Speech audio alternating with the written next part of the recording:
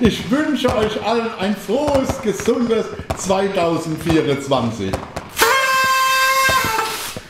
Das neue Jahr steht vor der Tür.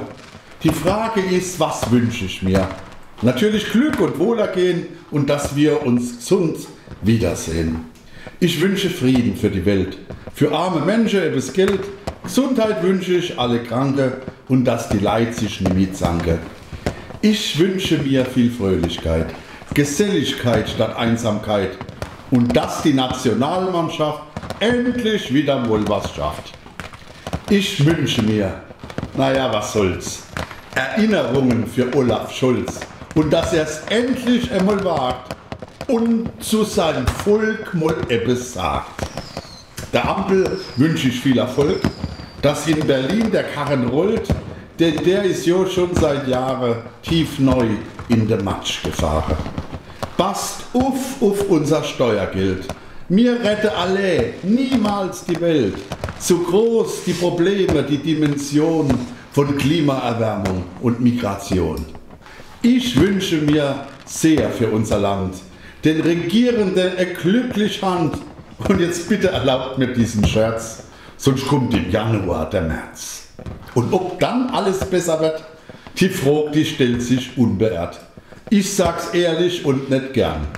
Schlimmer kann's ja nie mehr werden.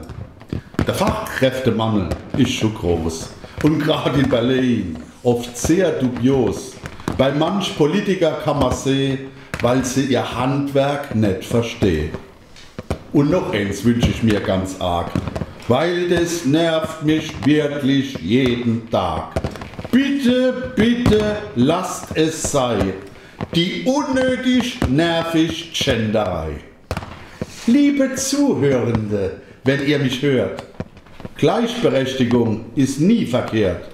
Verkehrt sind Doppelpunkt und Stern. Man kann es einfach nicht mehr hören. Die große Mehrheit will es nicht, weil es nicht nur unser Spruch entspricht. Lust euch gesagt soll, was ich sage. Verhunzt uns nicht die deutsche Sprache. Ah, in Heidelberg am schönen Neckar geht mir so manches auf den Wecker. Ich wünsche mir für unsere Stadt, dass sie bald weniger Probleme hat. Der Lamas Kopf fällt mir da ein.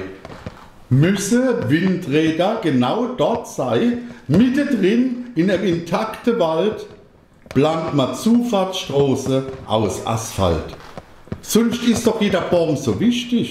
Doch plötzlich sind die Bäume dort nichtig. Dort gilt die alte Weisheit auch.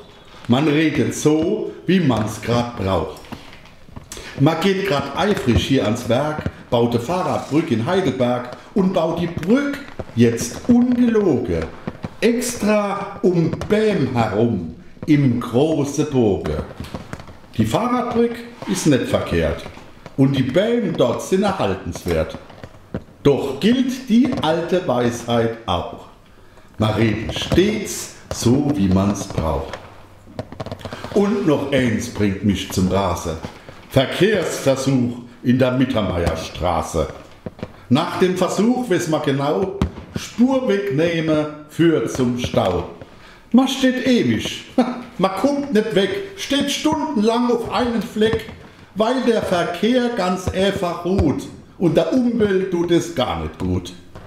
Ich wünsche mir dort einen Tunnel. So löst man auf den Autorummel, oben drauf eine breite Fahrradstraße mit vielen Bäumen und grünem Rasen. Und hat man dort zu dem Mut, wäre ein zweiter Tunnel auch noch gut. Für alle wäre es ein Genuss, dann wäre die Altstadt A am Fluss. Ein letzter Wunsch habe ich für heute. Oh bitte, macht mir diese Freude. Bringt noch im Januar, wenn es geht, die Kulturhauptstadt auf den Weg. Heidelberg muss Hauptstadt werden. Ich weiß, manche hören das nicht gern. Doch es wäre wichtig für die Stadt, die kulturell so viel zu bieten hat. Darauf hebe ich jetzt mein Glas. So ist es nun mal meine Pflicht, ich trinke auf das neue Jahr. Perché no? Ja, warum nicht Rost?